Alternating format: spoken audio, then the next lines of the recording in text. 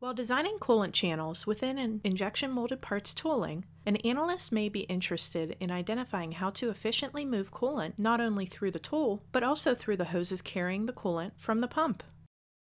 Beginning with Autodesk Moldflow Insights 2019 release, a coolant flow analysis can be used to simulate this quickly so the tool and machine's cooling setups can be optimized. After a tool is built and it's first installed in a press, valuable press time can be wasted while setting up coolant hoses. Further, the effects of splitting coolant flow from the pump's main hose is unknown until you start molding and see the effects of the coolant not extracting heat as efficiently as predicted. Autodesk Moldflow Insights coolant flow analysis can aid during the design of channels to minimize this costly troubleshooting time.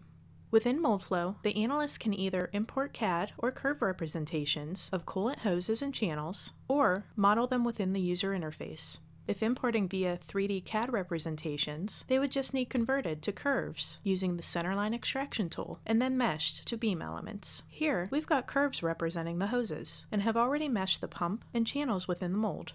We've also specified this study with the coolant flow molding sequence. The correct properties of each of the study components can also be assigned, such as channels, hoses, mold, and pump. When simulating complex hose and channel setups, identifying what a hose is connecting may become difficult, so using descriptive property names can be helpful.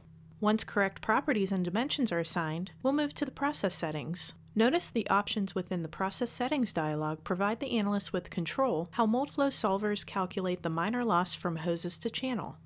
The method for calculating the coolant friction can also be specified.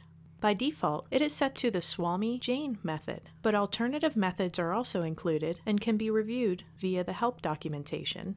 Next, there is an option for the coolant temperatures to be calculated. Lastly, there is an option to consider the gravitational effects towards coolant flow, as this may affect flow rates.